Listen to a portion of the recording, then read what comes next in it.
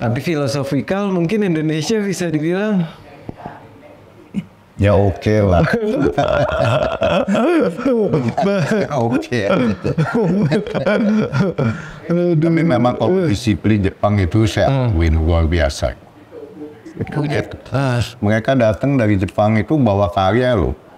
Nggak dikirim dulu laporannya nggak tenteng pesawat. Sampai sini biar yang benahin. Dia ini jadi biasanya kalau kita mau pameran di Indo itu mereka datang dua hari sebelumnya, datangnya biasanya pesawat malam. Yo, welcome back bareng gue Bill Muhdor di Art Corridor. Hari ini gue bersama Pak Rudi Harjo, seorang ketua umum di SSIA, satu organisasi yang gokil banget lo bakal gue ceritain di dalamnya. Dan juga seorang seniman dan kolektor. Langsung aja kita sambut Pak Rudi, apa kabar? Baik Mas Bibi. Waduh, satu kehormatan nih bisa podcast bareng Bapak. Pak, langsung aja kali ya biar seru. Ceritain dulu dong Pak, SSIA ini apaan sih biar jadi kita konteksnya teman-teman bisa lebih dapat gitu Pak. Kalau SSCI itu singkatan dari Society oh, for Studying Indonesian Art. Jadi itu sebetulnya kumpulan dari seniman Jepang. Sebagian itu dulu pernah tinggal di Indonesia. Oke. Ya, mereka pulang mungkin dari zaman Jepang atau ini saya nggak gitu jelas. Dari mulai tahun 80 itu mereka suka datang ke Indonesia kemudian ngajak teman-teman seniman dari Indonesia buat pameran bersama. Oke, jadi pertukaran budaya. Tukaran. Tapi waktu itu masih jalannya sepihak. Karena penyelenggaranya itu mereka di SSIA Jepang. Jadi lebih, kalau dari namanya tuh Study of Indonesia kan berarti. Ya, Studying for Indonesian Art sebetulnya memang agak rancu bahasa itu. Hmm. Tapi itu karena ada ada reasonnya sendiri pada saat itu. Hmm. Jadi mereka dulu itu selalu berpameran, kemudian ngajak-ajak teman-teman eh, seniman Indonesia untuk berpameran bersama Jepang Indonesia. Itu ada atas inisiatif mereka dan biayanya semua mereka yang Wow. Pada saat itu mereka yang tanggung. Tunggu, Ini menarik loh Pak. Aku baru awal aja kayak menarik. Jadi waktu itu seniman Jepang itu maksudnya bikin satu asosiasi untuk studi budaya di Indonesia. Tuh. Padahal kita sendiri itu ngelihat Jepang adalah satu negara yang secara keseniannya kalau menurutku pribadi sangat luar biasa Pak. Iya, tapi kita juga nggak kalah sama mereka dalam kebudayaan kita, terutama contohnya wayang, batik, seni lukis kita, seni pahat kita itu kita nggak kalah. Itu seniman kita luar biasa loh. Dan mereka tahu di situ, mereka mengajak kita semua untuk sama-sama pameran atas inisiatif mereka. Itu sebelum saya masuk. Oke. Kemudian tahun 90-an itu Hmm. SSIA-nya itu dipegang oleh Mas Daryono almarhum. Dia seorang seniman eh, lebih banyak ke abstrak. Anaknya Pak Sudarso. Oke. Kemudian dia sakit, dia kena ya dia minta ke saya, bisa ada Bu Titis juga, ada Mbak Nita juga dari Pematung. Minta bantuan saya untuk masuk di SSDI itu. sesi A. Nah pada saat itu saya lihat ini Hmm. nggak nggak nggak enak juga gitu karena itu kan sepihak. Iya, jadi- Jadi sebetulnya memang kayak saya bilang, bahasanya rancu. Namanya agak merancukan di, di situ. Cuma saya waktu itu punya niat, kok kalau ada SSIA Jepang, ya kenapa nggak ada SSIA Indonesia gitu. Iya. Jadi akhirnya saya kita berunding, saya bilang sama Oh. yang teman di SSC Jepang, oke saya bantu menangani manajemennya, tapi dengan satu catatan harus ada SSC Indonesia. Jadi kita ada SSC Indonesia, ada SSC Jepang. Memang SSC Indonesia tuh rancu bahasanya, tapi karena udah mereka yang buat awalnya, jadi udahlah apa untuk nama nggak terlalu kita pentingin yang penting kan Visi setiap sama tahun vision. visi misinya. Pada situ kita mulai nanganin pameran pertama, kedua, ketiga. Jadi sistemnya setiap tahun di Indonesia sekali, tahun depannya di Tokyo. Oke. Itu pasti di ASEAN Japan Center karena mereka dapat sponsornya di ASEAN Japan Center. Oh, berarti tempat yang cukup. Di Ginza. Jadi itu pasti mereka tiap tahun, eh, tiap dua tahun pamerannya di sana. Ah, cuma memang dari mulai 80 sampai tahun 90 itu agak vakum. Jadi kadang-kadang tiga tahun sekali, dua tahun sekali. Setelah tahun 90-an sampai 2000-an itu saya ambil keputusan oke kita mau pameran tiap tahun juga nggak apa-apa tapi dengan catatan sekali di kita sekali di sana nah itu berjalan Jadi benar-benar estafet tiap itu tiap tahun pameran. Oke, berarti itu dua dua seniman. Dari seniman Jepang, dan seniman Indonesia. tinggal tempatnya aja yang berbeda-beda. Waduh, jadi makanya judul kan kita selalu dengan nomor karena kita udah nggak udah. karena di kesenian SSIA ini kita nggak harus seni lukis saja. Jadi ada seni patung ada seni fotografi ada instalasi macam-macam batik wayang itu semua ada di kita jadi mereka belajarin wayang kita belajar dari mereka kayak contoh tahun dua tiga tahun yang lalu itu mereka dengan inspirasi kita ngajarin melukis di atas kayu dengan dibakar itu mereka ajar kita. Nah, kita juga ngajarin mereka masalah batik. Ada anggota kita juga yang jago batik. Apa yang paling favorit, Pak? Kalau boleh tahu dari dari Japanese artis ngelihat apa yang kita miliki itu apa yang mereka paling Lebih mereka lebih ke wayang dan batik ya. emang sangat kaya ya kita budaya di situ ya. Di situ luar biasa. Kalau seni lukis mungkin umum ya. Iya. Itu hampir semua kesenian tuh ada di seni lukis. Fotografi juga mereka sangat sangat antusias buat ini. Buat Oke. ada Nah kalau dari Indonesia ke sana Pak, apa yang menurut Bapak ilmu-ilmu yang udah di kita raih Pak dari SSIA sendiri Pak? Cukup banyak sih kita belajar dari mereka cara gunting kertas. Mereka ada lukisan dengan dengan gunting dan kertas itu halus sekali mereka ini. Kita belajar tekniknya.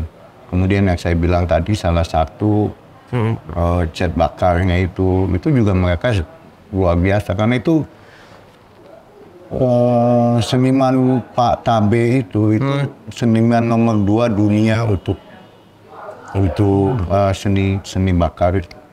Emang berarti juga, jadi kalau boleh tahu Pak, berapa banyak sih anggotanya kalau SSIA Indonesia dan Jepang itu? Di kita sekitar 30 sampai 40 orang.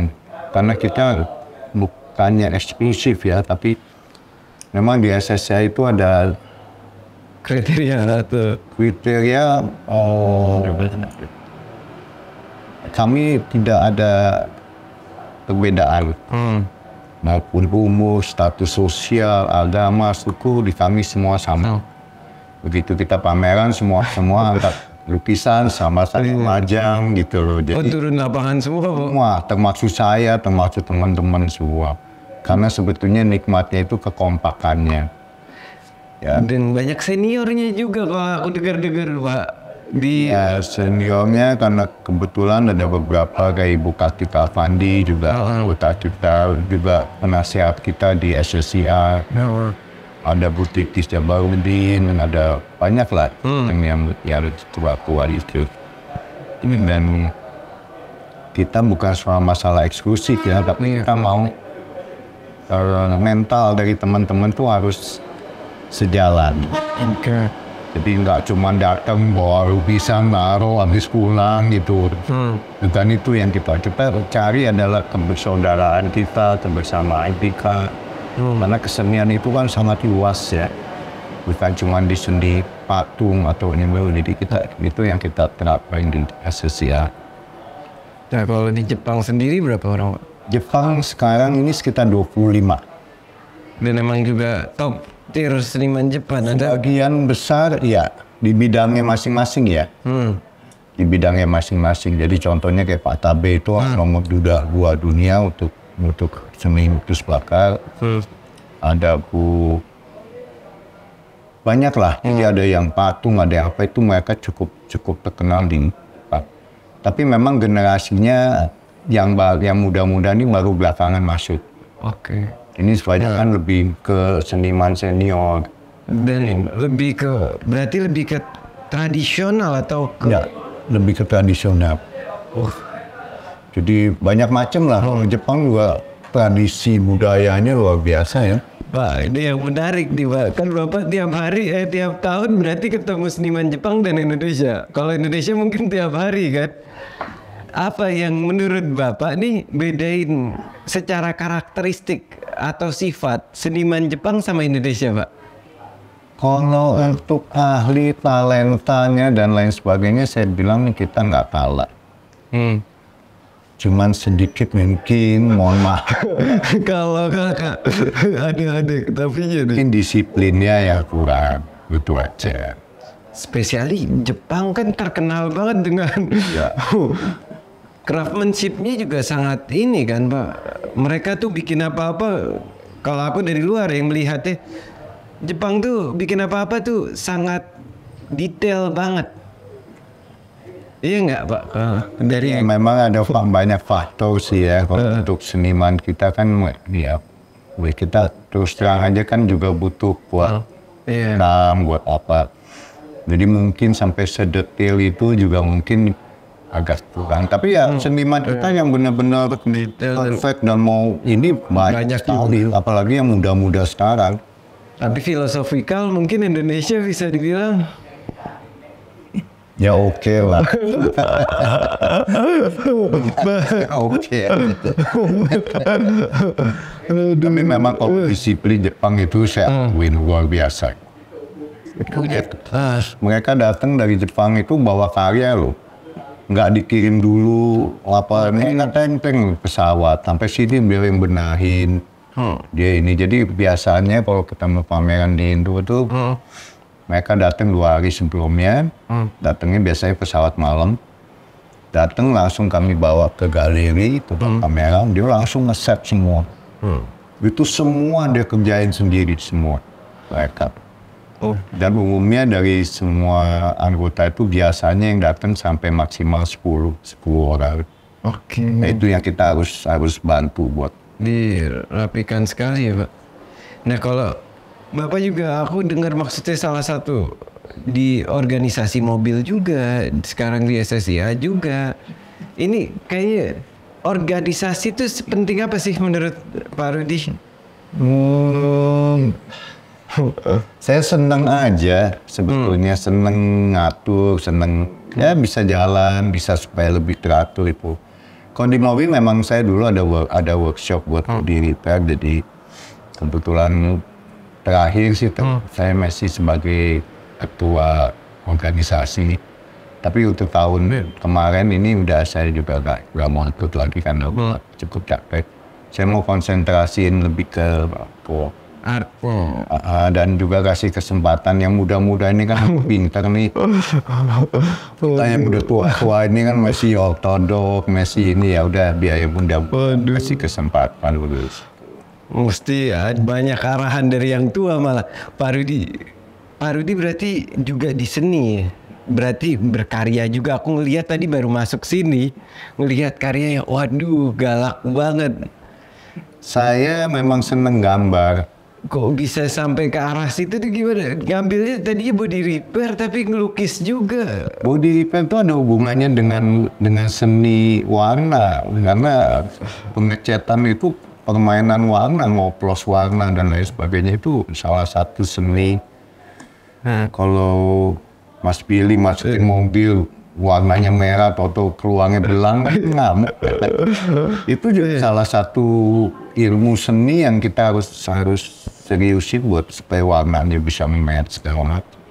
setuju sih. Aku kebetulan juga di industrial painting ya. Makanya, Jadi- mau kan kita belajar masalah painting. Sebetulnya di seni lukis cuman bedanya ada keseniannya aja, tapi kalau untuk pewarnaan nama Malah kadang lebih detailan di mobil. ya kalau mobil lebih detail. Depthnya aja harus dipikirkan. Tapi spontanitasnya kalah. Kalau Iya. Senian memang spontan di kita. Terus suaranya juga nggak satu doang. Nah, Mas Rudi, di, apa sih harapannya di SSIA sendiri buat ke depannya?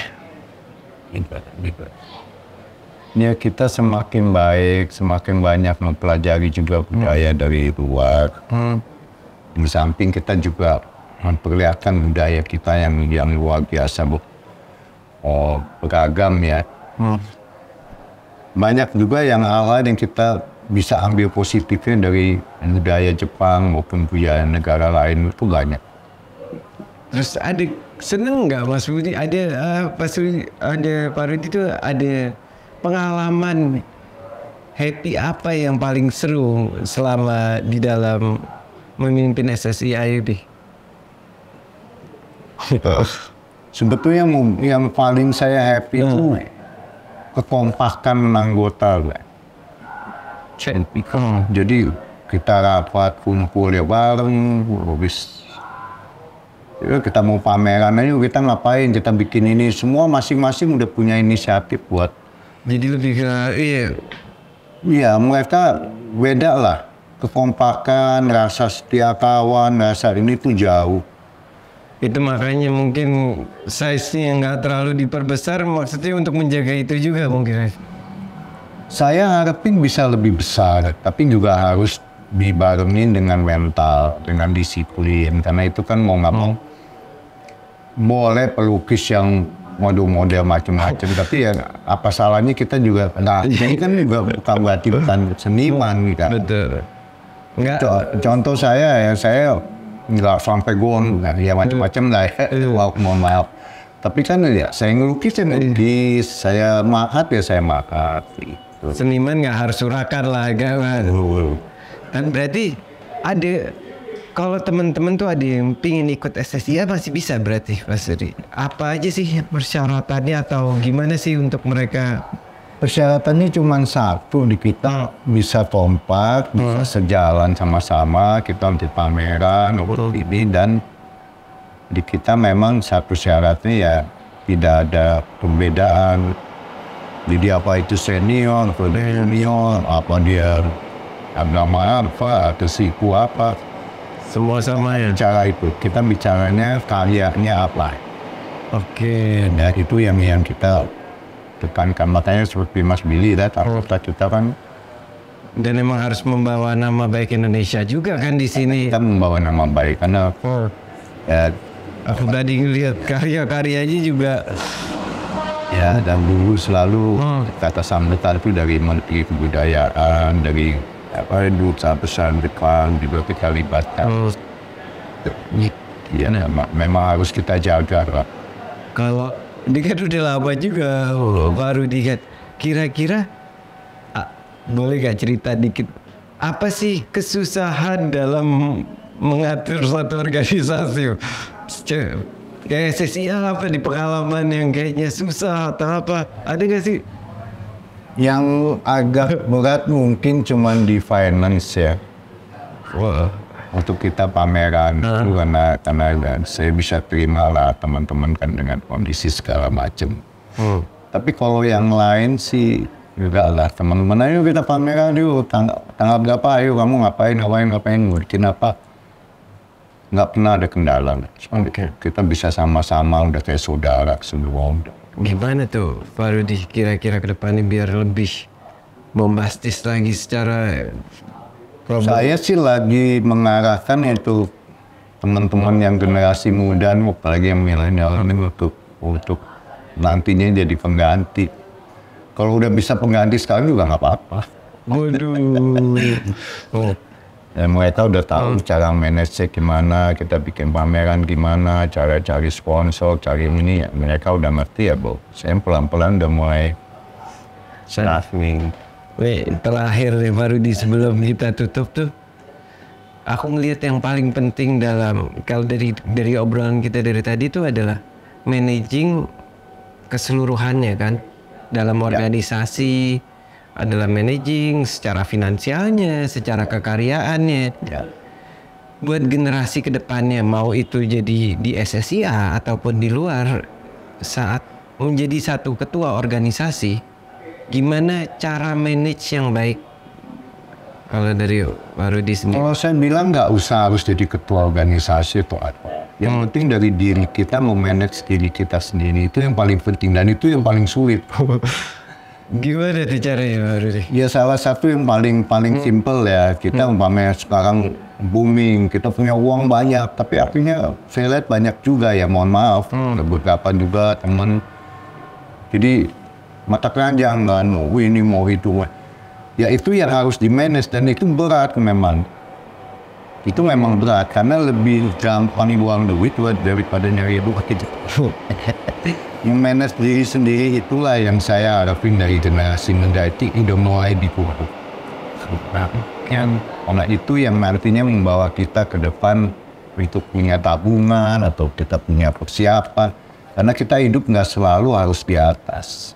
Someday kita juga di bawah. Kita harus siap sih. jadi harus benar-benar bisa manage dengan Memanage, memanage diri sendiri dulu lah. oh Urakan boleh, tapi memanage diri sendiri. Wah kita dapat pendapatan segini apa buat ini, kita bikin pos ini, kita bikin itu. Biasanya saya sama teman-teman lah ngomong. Dan ini simpan di sini, ini simpan jangan kawin lagi, jangan ini, jangan itu gitu loh kasarnya. Oke Sorry, mau Waduh ini satu ilmu yang mahal banget. Baru di sebelum sekarang buat temen apa namanya? Kalau buat Pak Rudi sendiri SSIA ke depannya ini ada acara apa dan kalau teman-teman mau ngeliat atau ada pameran atau apa? The floor is sana karena tahun yang lalu itu pamerannya di Jepang. Tapi Oke. kita dengan digital. Oke. Karena kan kita belum bisa berangkat ke Jepang dengan segala macam. Jadi kemarin kita cuma ngirim karya by foto, kemudian mereka bikin pameran. Tapi mereka eh, untuk tahun ini kita akan membuat pameran fisik. Rencananya karena ini ada kesulitan biasanya kita kita terusan di support banget sama temen itu dari galeri 678 sama jadi hotel, tempat segala macam. Tapi yang jadi problem tahun ini kita kan kena di berkendara itu kena ganjil genap. Jadi buat kami itu agak kesulitan juga buat ngaturin kamu-tamu yang dari Jepang. Kita rencananya nanti oh, kalau bisa dapat tempat akan di Pusaka Nasional di Medan Merdeka atau apa yang Di ya, di sebelahnya Galnas eh Enggak. Museum Gajah. Perpustakaan. itu kita di situ dan eh, mungkin mereka akan kita tempatin di daerah Menteng sini kan banyak hotel ya. Jadi untuk transportasi nggak gitu masalah karena nggak kena ganjil genap. Karena itu kan cukup cukup padat acaranya. Itu nanti ada ada ada demonstrasi dari mereka dan juga dari kita dari Semi Mike Indonesia. Jadi itu publik bisa dilihat publik untuk pamer. Memang memang untuk publik dan exhibition itu kita nggak jual lukisan. Oh, bisa melihat karya seniman Jepang dan Indonesia juga. Ya, dua-duanya. Dan kita eh, seperti tahun-tahun sebelumnya ya seniman Jepang itu akan ajarin kita ilmu yang dia Punya juga. punya, kita juga ajarin mereka sebalik. Waduh, ini satu hal yang mahal. Ntar kita pasti bakal update juga. Kalau mau update-nya di mana Pak Rudi? Nanti Mas Taji Iya. sebagai ketua eh, panitia biasanya dia yang Ntar bakal diupdate juga, kita bakal update juga di Art Corridor ya kalau emang acaranya. Undangannya. Jadi jangan lupa buat follow dan semua description-nya ada di bawah. Terima kasih. Mas Willy juga kalau ngelukis ikut kita nggak apa-apa. Siap. Kami kita senang-senang buat majuin kesenian kita. Siap, waduh satu kehormatan yang besar itu. Waduh. Oke, terima kasih banyak buat ilmu- ilmunya. Thank you Pak Rudi. Oke. Besok, oke.